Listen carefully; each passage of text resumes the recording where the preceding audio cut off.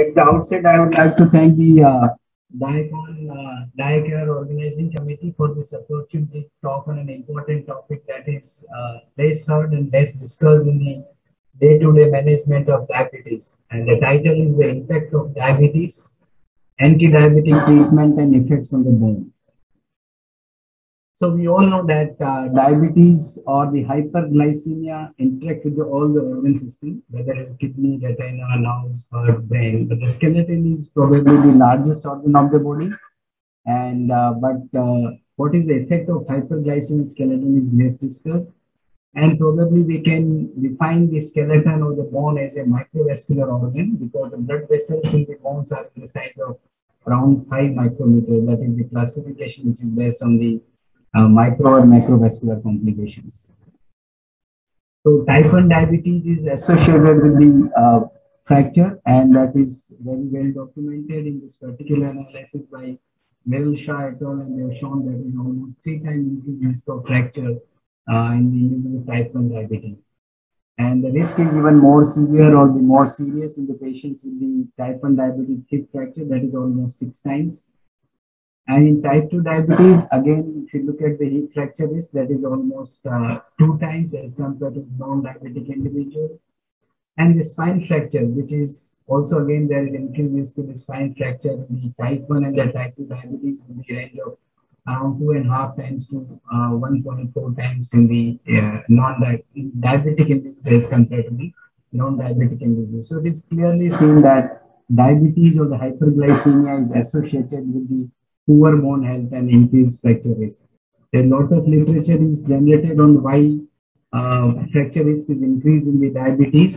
Uh, but my topic today is to uh, discuss what is the effect of various drugs used for the management of type 2 diabetes and how they can affect the bone health. So this is the ADA guideline 2021. The various drugs are used starting from the metformin to SGLT1 receptor agonist to SGLT2 inhibitors to uh, DPP4 inhibitor, thiazolidinedione, sulfonylurea, etc. So I'll discuss briefly about each drug and how these drugs can affect the bone health in the patient with type 2 diabetes. So there are the uh, various classical risk factors for the fractures are there, those exist in diabetes also. But in diabetes, especially three medications are known to affect the uh, adversely affect the bone health. That is one thiazolidinedione, and second is SGLT2 inhibitor, and possibly insulin and sulfonylurea. So going into the uh, detail of these drugs, I want to focus on two cells. That is one is mesenchymal stem cell, and another is hematopoietic stem cell. So mesenchymal stem cell either will convert into osteoblast or convert into the adipocyte. So that uh, adipocyte conversion is takes place under the effect of the PPAR gamma and the osteoblast is converted or mesenchymal stem cell will converted into osteoblast under the effect of the RUNX2. So let's see how these uh, PPAR gamma and RUNX2 is affected. So you can see the metformin actually stimulate the osteoblast by increasing the activity of the RUNX2, while the uh, PPAR gamma, which is uh, mainly the thiazolidinedione, and that actually affect the stimulate the adipocyte conversion of mesenchymal stem cell to the adipocyte. And obviously, because of the adipocyte conversion instead of osteoblast conversion, there is increased uh, uh, poor bone health. Patient those are treated with, with the thiazolidinediones.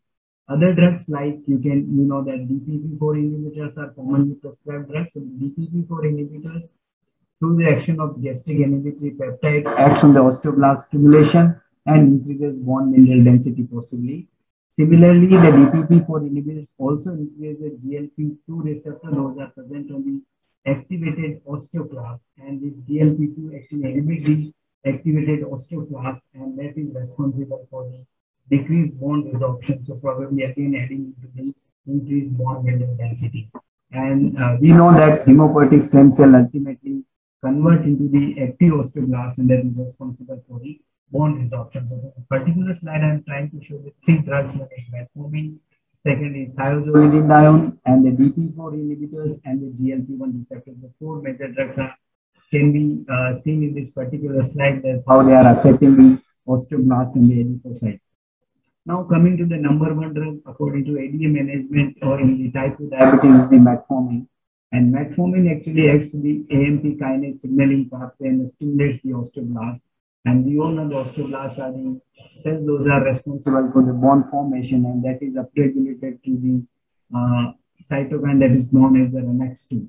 In addition to the metformin, also stimulates the type 1 collagen and ALP synthesis from the osteoblast. It is well known that metformin is known to reduce the intracellular uh, reactive oxygen species and reduces the osteoblast apoptosis. So thereby multiple mechanism, metformin seems to be helpful for the bone health. And in this particular diagram or the cartoon, you can see that effect metformin acts on the AMP kinase and it acts on the osteoblast and the osteo inhibits the osteoblast and stimulates the osteoblast by these uh, multiple mechanisms so that is responsible for the bone formation that is balanced in the form of the in the favor of the bone formation as compared to the bone resorption. So uh, looking at the literature further after this uh, brief mechanism of action of the metformin, there is not many RCTs are available. There is only one RCT available that is known as ADOPT. And when they, in this study, they compared the metformin and thiazolidinedione. And what they found is that risk of fractures lower in the people those are receiving metformin as compared to the thiazolidinedione. And the multiple observation studies also shown that metformin either reduces the risk of fracture or there is no change in the fracture risk. And this is uh, one of the meta-analysis which was published in 2019 Osteoporosis International and that is showing there is almost 18% reduction in the fracture uh, with the metformin in the individuals with the type 2 diabetes on metformin treatment. So we found that metformin seems to be effective or neutral at least. So now coming to the second drug, which is uh, can adversely affect the bone, that is thiazolidinedione. But in thiazolidinedione, there is a consistently uh, literature is consistent that it impairs the bone health and I shown in previous slides that because the PPAR gamma actually convert hematopoietic stem cell to the adipocyte rather than the osteoblast.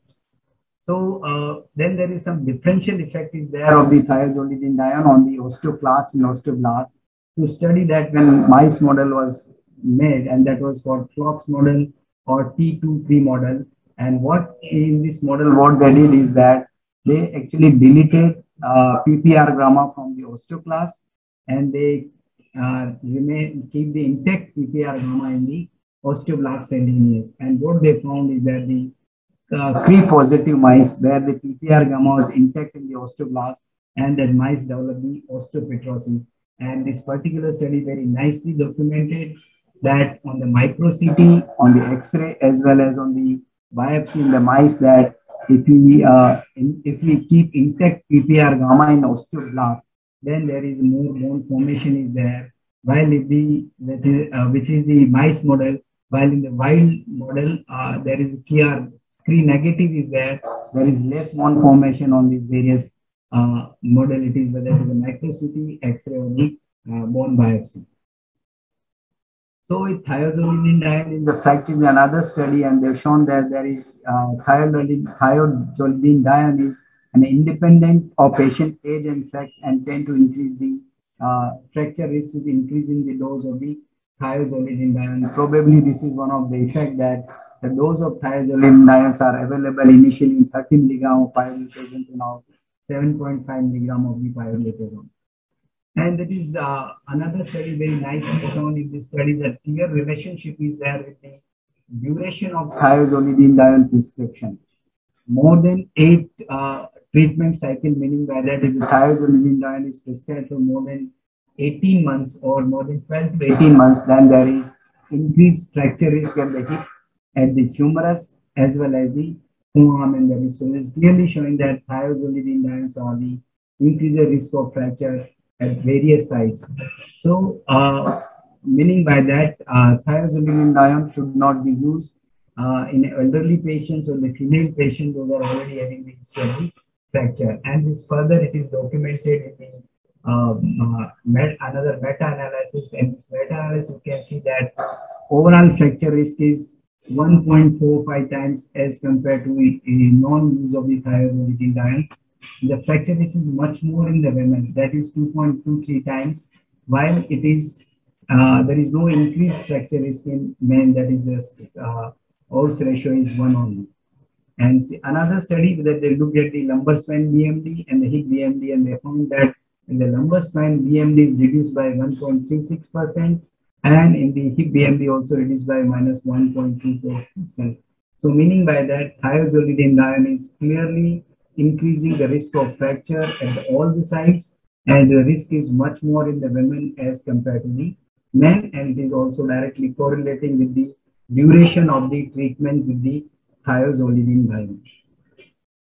And what the recommendation uh, on the effect of anti-diabetic drugs is that they recommend that glitazones is avoided in a women with diabetes and osteoporosis or with high risk of fracture. So that is the recommendation from the uh, anti-diabetic drugs in the bone and they also recommend that glitazones cause variable change in the remodeling markers and decreases the BMD, the lumbar spine, femoral neck, as well as the appendicular BMD, and that's why it increases the risk of, uh, doubles the risk of the osteoporotic fracture, especially in the menopausal women. Now, uh, sulfonylurea is probably one of the commonest prescribed drug, but the much detail is not available. But uh, I have come across an interesting meta-analysis and that meta-analysis showed that there is increased risk by uh, decreases the uh, risk of fracture by one point by say uh, uh, uh, uh fracture risk in patients with type 2 diabetes is increased by say approximately 14 percent and there also similar recommendation given by the society is that in elderly patient about 65 years of age we should pres avoid prescribing the uh, sulfonylurea, there is increased of fracture is there.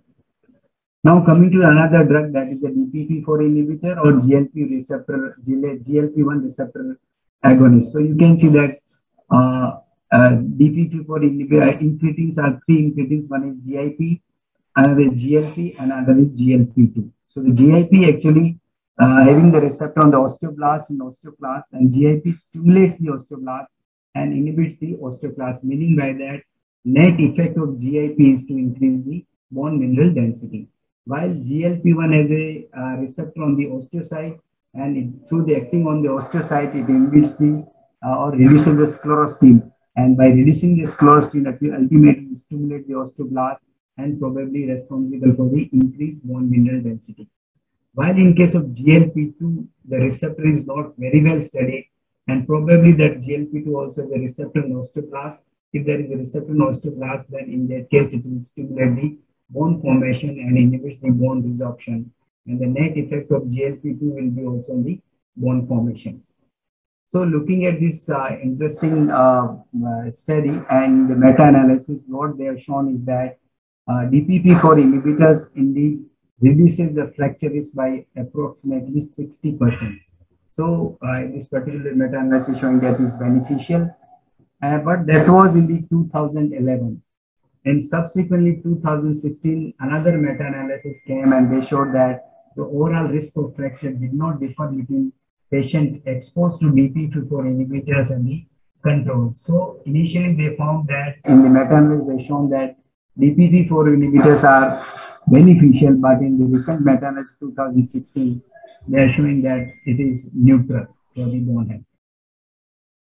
And uh, interestingly, the two molecules uh, prescribed for the GLP-1 receptor agonist, one is the liraglutide, and that showed the reduced risk of fracture by approximately 62%, while interestingly, the exenatide, there is increased risk almost twice. So it is difficult to explain. On one side, the liraglutide decreases the risk of the fracture but the exenatide increases the risk of the fracture. The mechanism is not clear. There's, though they both are the similar class of drug, but why there is a difference in their uh, effect on the bone health. Now coming to the another molecule, which is blockbuster molecule, that is the SGLT2 inhibitor. And CANVAS study, they have shown that uh, fracture risk is higher in the patient with the uh, this, uh, those who are receiving the canagliflozin as compared to the placebo. But the same molecule, another trial that is Credence trial, they showed there is no difference in the fracture risk. And similarly, EMPA-REG outcome with the empagliflozin, declarative with the uh, dapagliflozin, and DAPA heart failure study also showed there is no increased risk in the fracture. Let's try to understand what is the mechanism how SGLT2 inhibitors can increase the risk of the fracture or the poor, leads to the poor bone health. We know the SGLT2 inhibitor is uh, mainly working on the proximal tubule of the kidney, where they absorb the glucose. Uh, they absorb the glucose, and uh, SGLT2 actually absorbs the glucose and the sodium. And when the SGLT2 inhibitor is given, both are excreted.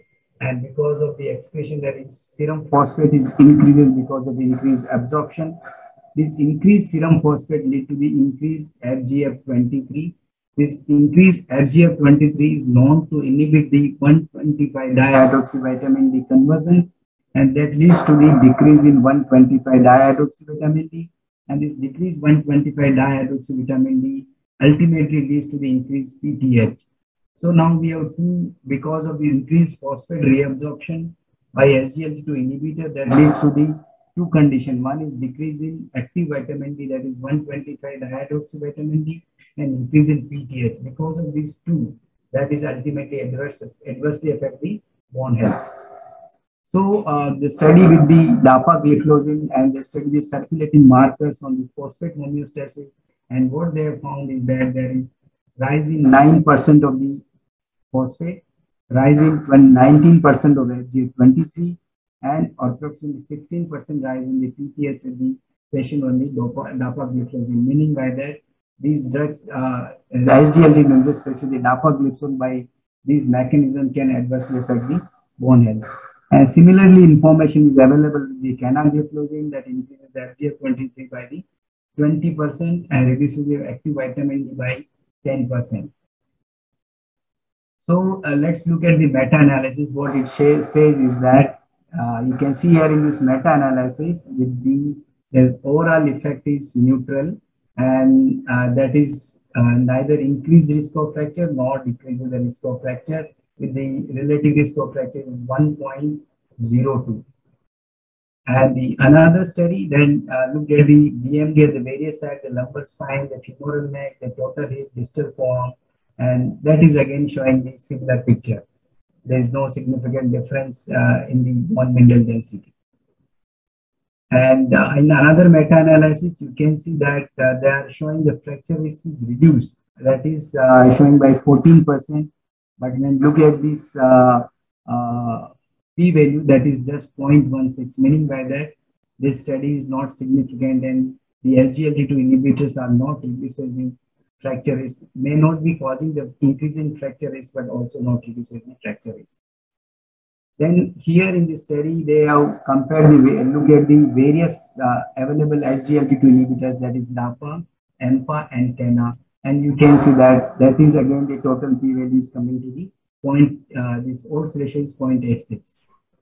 So this is my final slide and the anti-diabetic therapy in bone disease, you can see the metformin increases BMD, reduces risk of fracture, Thiazolidine definitely reduces the BMD, increases the risk of fracture. Incretin increases the BMD, decreases the risk of fracture. SGLT2 inhibitors, BMD is not uh, neither reduces nor decreases, but increases the risk of the fracture. And insulin probably increases the risk of fracture. So I, I say that uh, diabetes or the hyperglycemia can harm the bones and it can increase the risk of fracture the hip as well as spine and while prescribing various anti-diabetic agents, we should consider uh, the bone health and keep in the mind. Like in this slide, when we talk most of the time, we talk weight change, hypoglycemia, CV effect, renal effects, and route of administration, but we don't look at the bone health often. Don't think about that. So probably we may have to add one more column in this slide on the bone health while prescribing anti-diabetic agents. thank you very much for your patient listening.